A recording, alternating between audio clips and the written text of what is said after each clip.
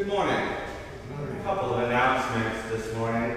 Um, I'd first like to say thank you to everyone who's donated so far to the Advent Food Drive. It's been excellent to see the response to that. Um, we get a lot of food, obviously, from our neighbors in Patterson Harbor who are very generous this time of year. It's also very important uh, that the congregation continue to give to those who need uh, this time of year, so I very much appreciate your help there. Additionally, uh, you can see your bulletins, but tonight, of course, we'll be having our services at Christmas.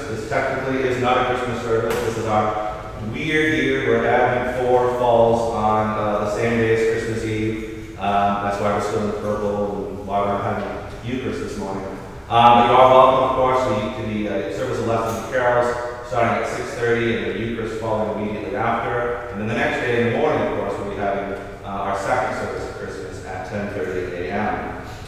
I'm also very happy to announce that normally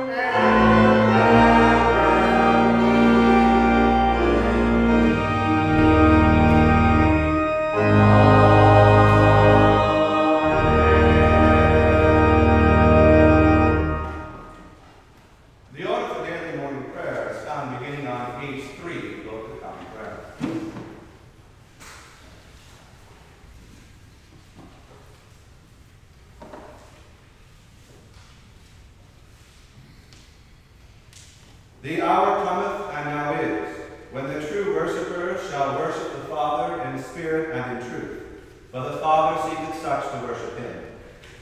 Repent, for the kingdom of heaven is at hand. Prepare ye the way of the Lord. Make straight in the desert a highway for our God. Dearly beloved brethren, the Scripture moveth us in sundry places to acknowledge and confess our manifold sins and wickedness, and that we should not dissemble nor cloak them before the face of Almighty God, our Heavenly Father, but confess them with an humble, lowly, penitent, and obedient heart, to the end that we may obtain forgiveness of the same by his infinite goodness and mercy. And although we ought at all times humbly to acknowledge our sins before God, it ought we chiefly so to do when we assemble and meet together to render thanks for the great benefits that we have received at his hands, to set forth his most worthy praise, to hear his most holy word, and to ask those things which are requisite and necessary as well for the body as the soul. Wherefore I pray and beseech you, as many as are here present, to accompany me with a pure heart and humble voice under the throne of the heavenly grace, saying,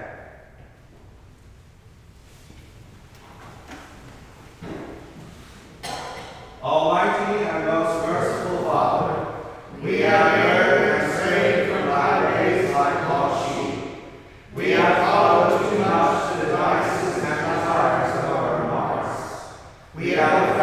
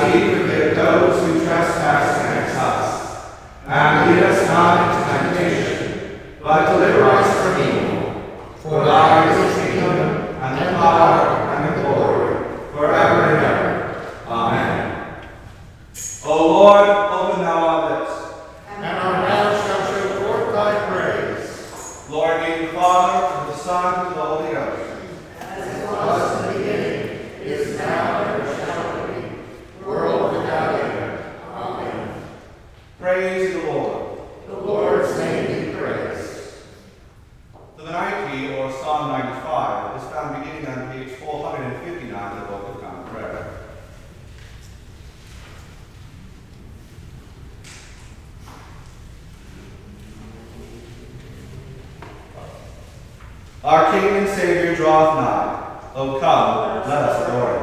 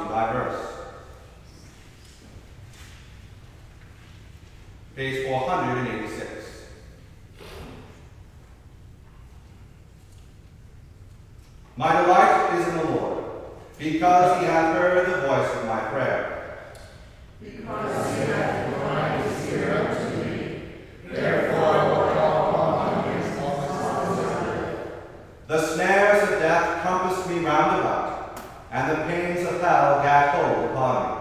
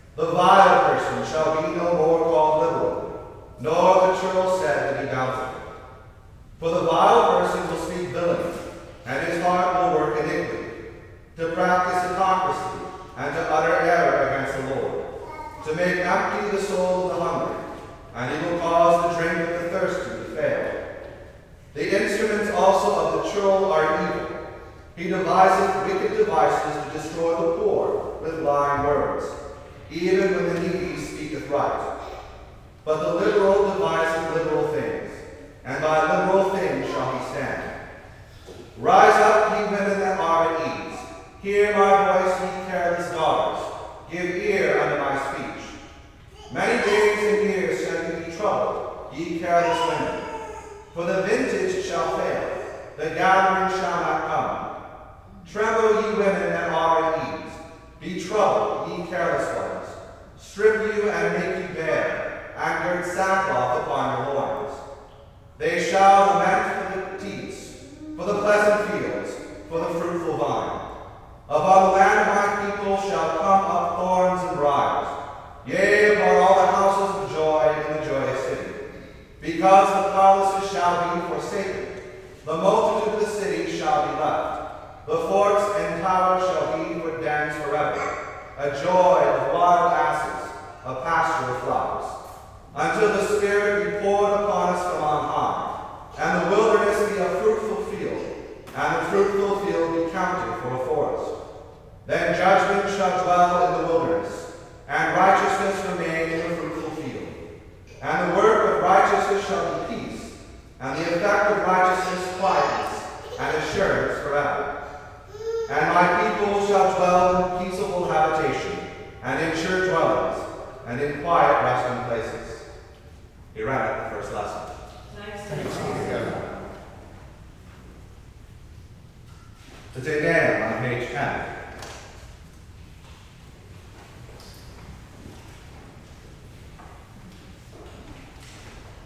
We praise thee, O God. We acknowledge thee to be the Lord. All the earth doth worship thee, the Father everlasting. To thee all angels the heavens and all the powers are. To the cherubim and seraphim continually Holy, holy, holy, Lord God of Sabaoth. Heaven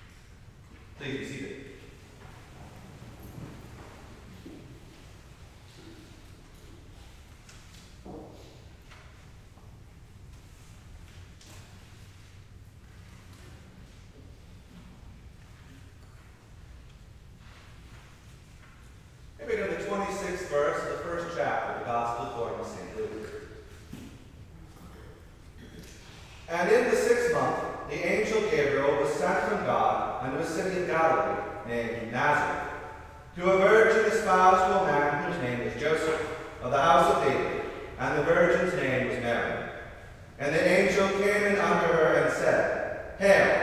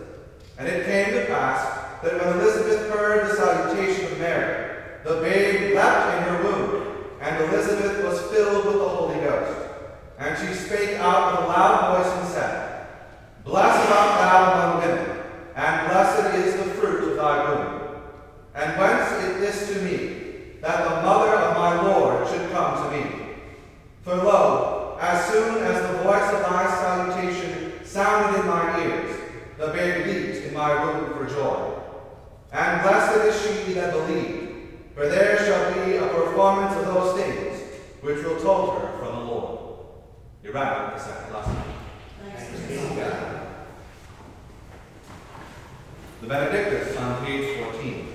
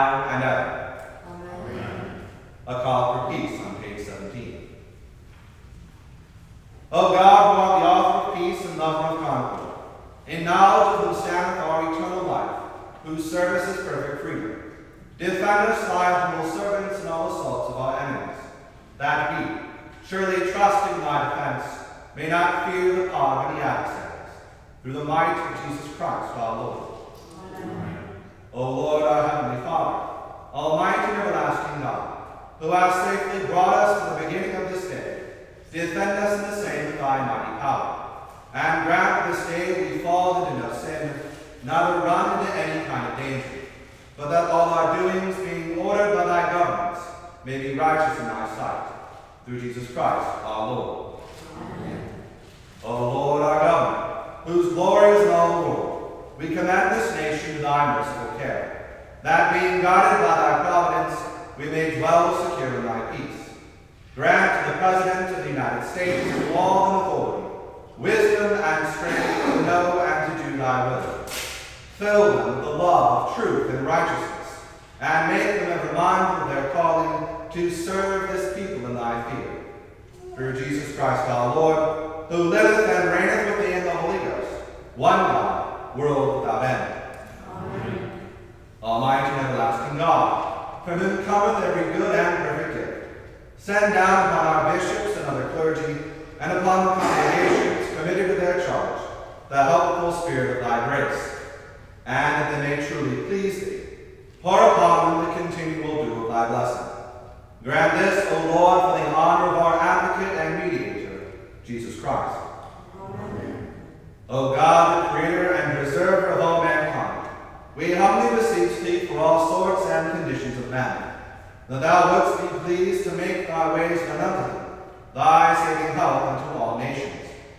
More especially, we pray for thy holy church universal, that it may be so guided and governed by thy good spirit, that all who profess and call themselves Christians may be led into the way of truth, and hold the faith in unity of spirit, in the bond of peace, and in righteousness of life. Finally, we commend thy fatherly goodness, all those who are anyways afflicted or distressed in mind, body, or state.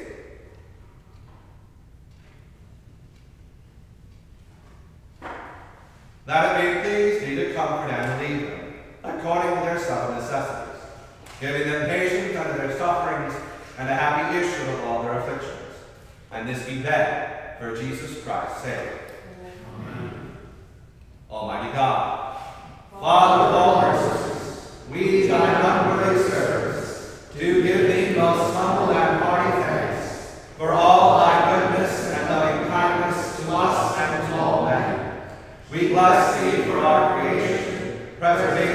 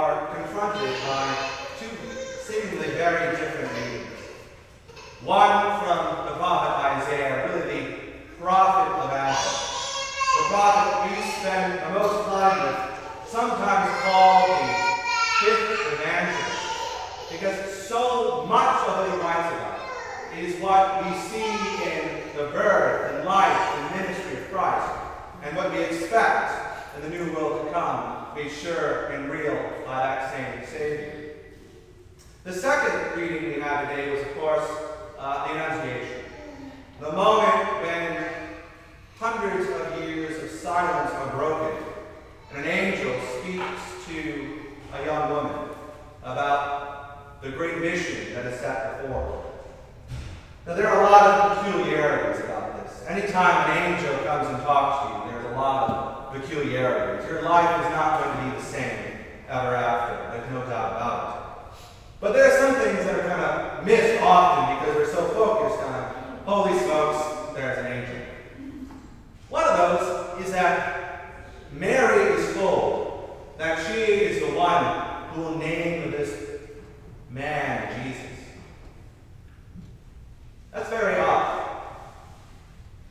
In the Hebrew thought world and the common traditions of the people, men named children. It's why, just a little bit earlier in the book, Zacharias gets his voice back just so he can say, My wife will be having John. It's an important feature.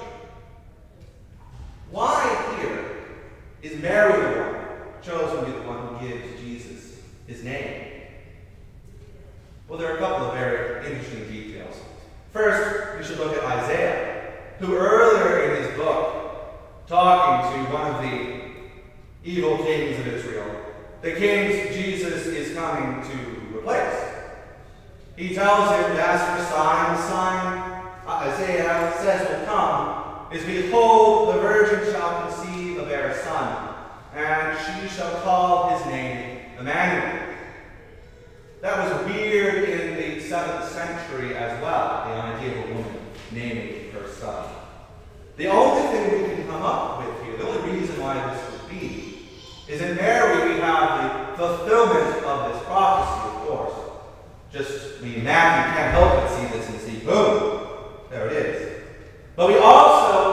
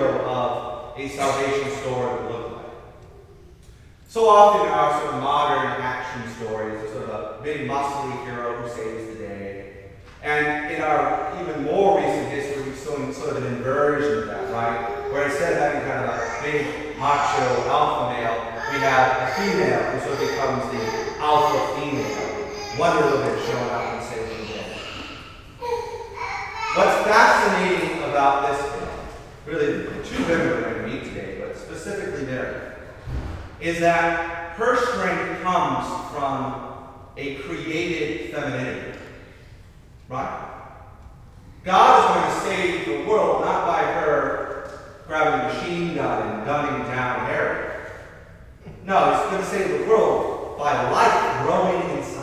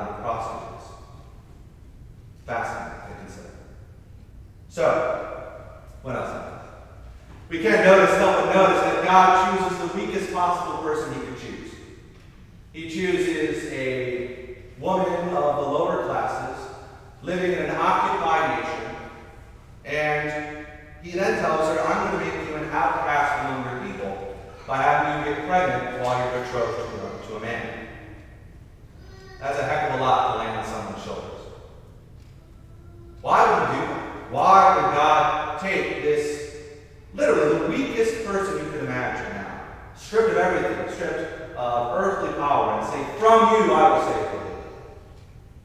Because this is the way God always works. God always works by taking the weakest things, the things the world thinks are useless, and turning them into glory. This is excellent news for his ministers, I should say. But it's also good news for all. It's good news because we aren't measuring ourselves based on whether or not we can bench press more than whatever action hero we see in any movie. We're being, we should judge ourselves rather on how much of the righteousness of God we have, how much we are in line with the God who gives us real strength, rather than the fake, fading strength of a dying, corrupt world. And we see that strength in this woman who has nothing but is given everything. Beautiful.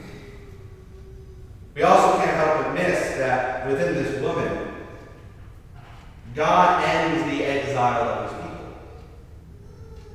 So if we imagine in the book of Ezekiel, we hear that the temple is abandoned by God because of the horrible apostasy of the people of Israel. Things as, as, as horrible as we can imagine. Um, you know, just to name a few, things like child sacrifice was a big part of why God judges. It was a big thing in pagan religions. Um, it took a long time for Christians to convince even places like you know where the Vikings come from to stop murdering people for their gods. Um, it seems so strange to us because Christianity was so good at this and so effective in the West. But this was a common practice um, in our ancestors' religion. But what we find here is that the temple, rather than being this place now compromised by people who worship other gods, is to be contained within this woman. The holy space within which God and man meet is here, in her womb. That's a beautiful amazing thing. Of course, when Jesus is born, he will become the ultimate temple. And then he passes that on to us as we become the temples of the Holy Spirit. The holy space in which God and man meet. So we talk of sometimes Mary as being sort of the mother of us all, there's definitely a sense that we can recognize that. In that she is the first person to have this incredible, intimate contact with God. It all starts here in her Annunciation. So, what about the other woman in this story? Uh, Elizabeth. You ever read the Greek epics? They don't usually, they always start off with discussions of gods, or you have massive battles, Agamemnon fighting, Achilles is fighting, trying to decide whether to actually follow Agamemnon, Paris is out there. Great battles are happening. Luke, remember we're in the first chapter. Luke starts his great epic of how the world is going to be saved by talking about a meeting between two pregnant ladies. No man would write this story. I can tell you that right now.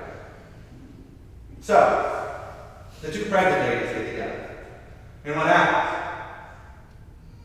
Well, first, before we get to what happens, let's figure out who Elizabeth is in this whole thing. So Elizabeth, of course, is the uh, cousin of Mary. And she represents the continuity between the God who worked in the Old Testament and is working in the New Testament as well. When we see her story of barrenness and then fruitfulness, we should see the same thing we see over and over and over in the Old Testament. That of the story of Sarah is, of course, the first great example, where she laughs at the idea that an old lady can get pregnant. And God says, keep laughing. It's going to happen. Your laughter will turn from one of kind of mockery to joy. And so it does. And from that, of course, we get the family from which Jesus Christ will be born. But Elizabeth here is that important hinge point between the old and the new. Just as her son, John the Baptist, will be the last great Old Testament prophet, the hinge between old and new. It's to remind us that this isn't some strange new story we're sort of involved in in the New Testament.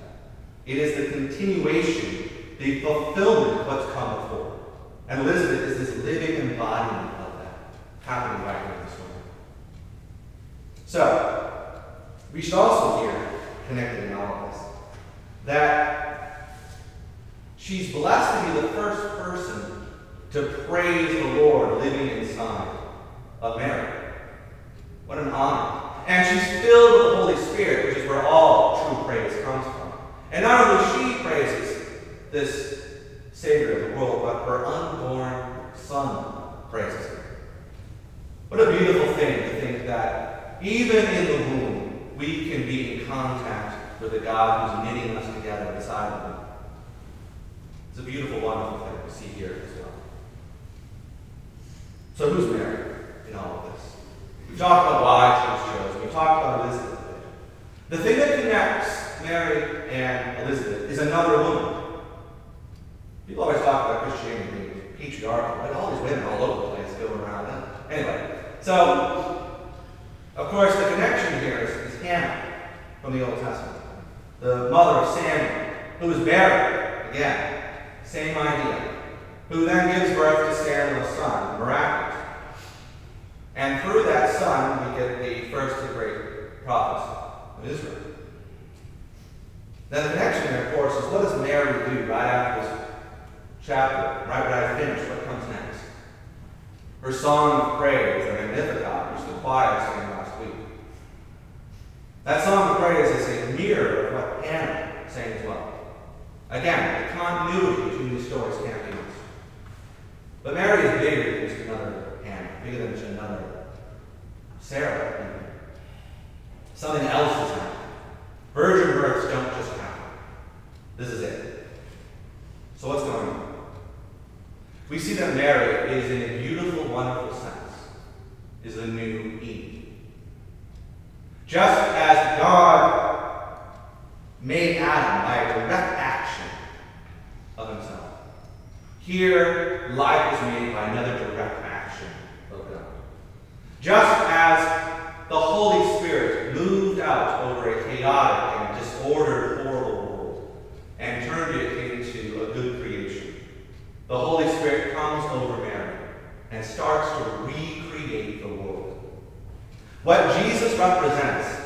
is a beginning of the new world to come.